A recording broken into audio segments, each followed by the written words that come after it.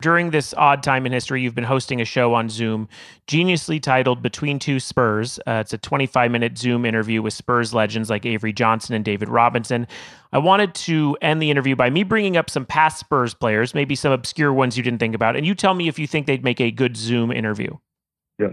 Okay, first, he only played one season on the Spurs, 89 90, but Uwe Blab. U- Uwe Blab. yes. Uwe Blab. You say it better than I do. Yeah, uh, he's a big German guy. Went to Washington. That's a good question because I can hardly remember Uwe, and even though I played against him in college, hmm so uh, All right, all right. We'll hold off on that one. That's a good one. I'm not sure. Okay, we'll hold off. Maybe you'll hear the other ones and you'll you'll set up who you want. Two, uh, he played one Okay. season, 76 77. I didn't even know he was a Spur. Mike D'Antoni. Mike D'Antoni. I think Mike D'Antoni would be a really good Zoom interview Okay. because I he's been around here and there and he's got a good personality. I think he's just a, generally he's a good guy, so uh, he he would be a good interview. All right. Uh, this one's a, an old teammate of yours. He played one season, 93 94. Sleepy Floyd.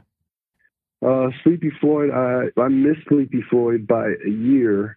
Um, he was I think 87, 88, so I missed him. But I admired him when he was in college. I loved his nickname, Okay. and I was a big college basketball fan, so I would love to interview Sleepy Floyd. Okay, moving on. Uh, this guy, one of NBA's largest personalities, played one season on the Spurs, 15 16. Boban.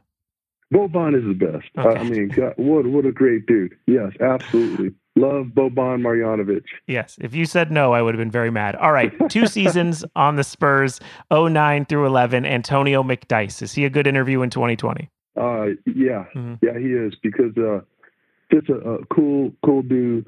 Loved the way he played early on in his career. When he played for the Denver Nuggets, Oh. he was a nightmare. He Nightmare. was one of the only guys. He was the only one of the only guys that gave Tim Duncan problems. Oh, he he could jump out the gym too, man. It was what an athlete. Yes, he could, and he could shoot it. He could shoot it with decent range. I mean, he he had a great uh, low post game. He was he was a lot of fun to watch. All right. This one maybe didn't have as great of an NBA career. Great in college. One season with the Spurs, 01 02. Cherokee Parks. he would be a great interview.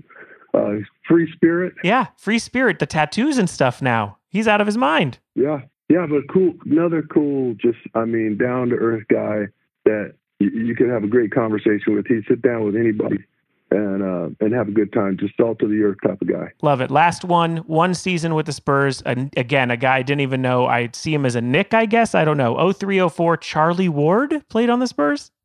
Uh, Charlie Ward, he, he would be a good interview. He, I mean, anytime because he's you know Heisman Award winner. Yeah. Uh, ends up playing uh, NBA basketball. How, how many guys have done that? None. Yeah. Uh, yeah, he's he's got quite a resume, and you know he's he's he's been in some battles, and and and watching Florida State and Miami back in the day, Yep. you know those were the games that people would, I mean, cram around the TV set to watch. Guys were hitting each other; they were so exciting. Yeah. That was some of the best football that was being played. Yeah. And Charlie Ward had, had he, he threw some dimes. Even in the NBA, he was a pretty good assist guy. Yeah, he did. Yeah. He was he was fun to watch as a quarterback. I mean, he could scramble. He could he had an arm. Yeah.